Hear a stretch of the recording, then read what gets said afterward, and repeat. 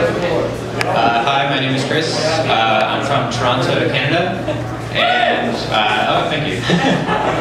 uh, some Canadians here. Um, and so I am actually introducing myself, or rather my, my film, uh, which I made about a year ago. And it was filmed kind of when I was on vacation in Italy and mixed with some stuff I shot in Canada, so it's a bit of a a mix of things. But anyways, enjoy. Uh, thank you for coming out.